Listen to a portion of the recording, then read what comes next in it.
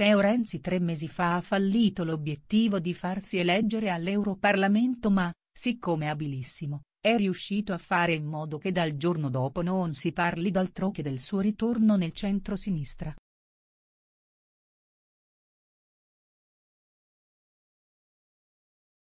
Ellis Klein ha la porta aperta e ha stretto accordi di coalizione con lui per le imminenti elezioni in Emilia-Romagna e Umbria, ma i grillini non lo vogliono e hanno eretto dei muri in Liguria, bloccando a lungo l'investitura del Dem Andrea Orlando.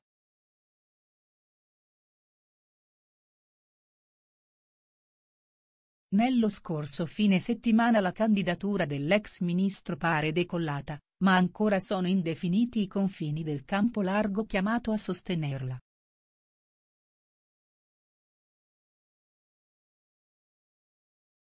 Di certo ne fanno parte il PD, M5S, Alleanza Verdi-Sinistra. Anche Azione ha dato il via libera, forse?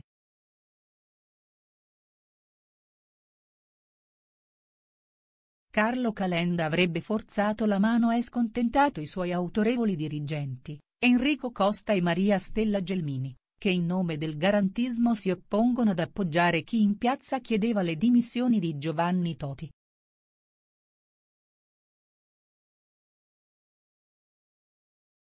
Poiché sono regionali, conta il territorio e pare abbiano prevalso i calendiani liguri, peraltro di provenienza Dem, anche se il leader di azione è imprevedibile nel campo largo nessuno è certo che terrà il punto fino al voto.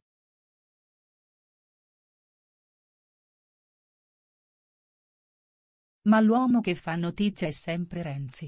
Orlando attende che il PD nazionale concluda l'accordo con Italia Viva.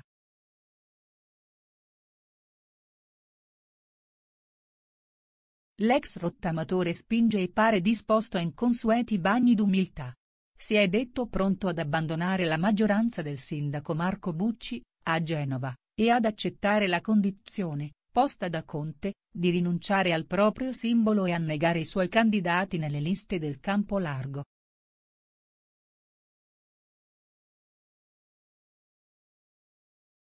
Nel capoluogo lo sforzo è minimo perché i renziani non sono decisivi e due su tre non sarebbero disponibili a seguire le indicazioni del partito.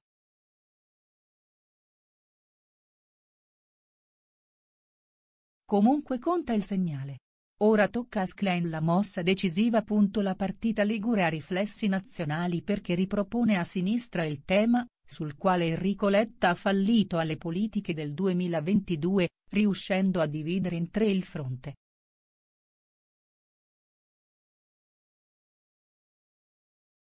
Il tema è se, viste la totale avversione dei grillini verso Renzi e il forte astio che molti elettori piddini provano tuttora verso di lui, l'ex segretario dei Moggi porti voti o ne tolga al campo largo della sinistra.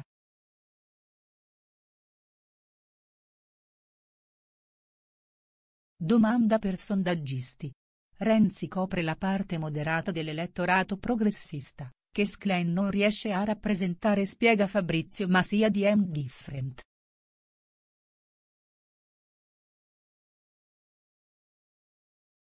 Porta quel 2-3% che altrimenti in Liguria, dove è forte il voto civico, se ne andrebbe dall'altra parte quindi in realtà vale il doppio di quel che pesa.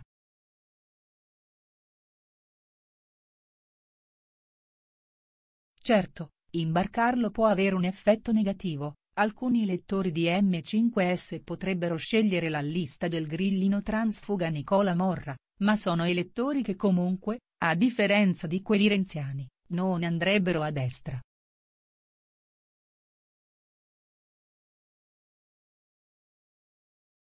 Conte deve scegliere se prendere più voti come partito ma non vincere come coalizione o sacrificarsi per aumentare le possibilità di vittoria del campo largo conclude Masia.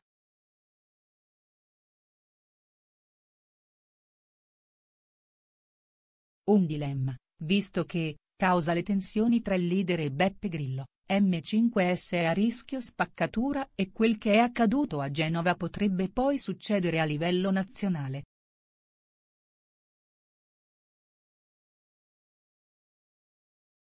Per Antonio Noto, direttore di Noto Sondaggi, La candidatura di Morra è invece più che altro una provocazione, un segnale che Grillo vuol dare a Conte, per fargli capire che ogni volta che si allea con il PD perde voti.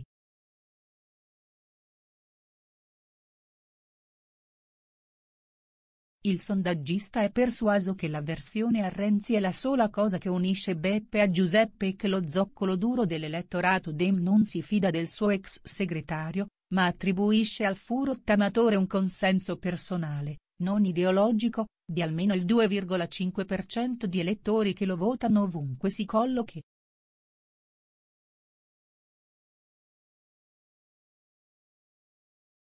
È il dato da cui partire per risolvere l'algoritmo del miglior assetto possibile per la sinistra in Liguria.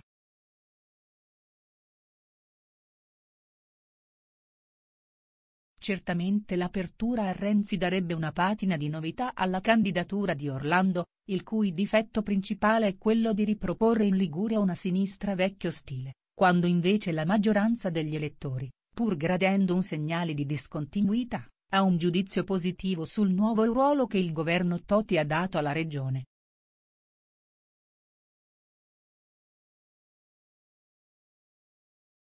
Ed è proprio sul concetto di discontinuità che nel centrodestra si sta giocando la partita per individuare il candidato che sfiderà Orlando.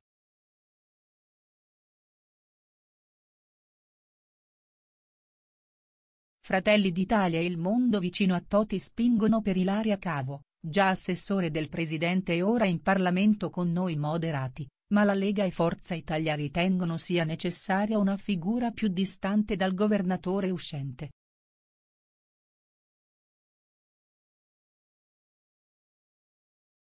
E così l'indicazione del prescelto si allontana. Ma guai a sottovalutare l'effetto Toti.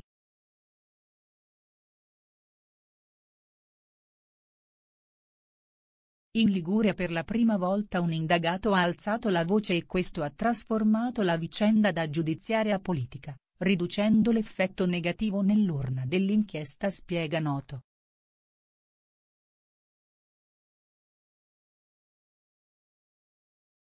Molti aggiunge Massia ritengono che con gli arresti prolungati di Toti si sia calcata la mano e questo annulla la portata negativa sul centrodestra di un voto anticipato per cause giudiziarie.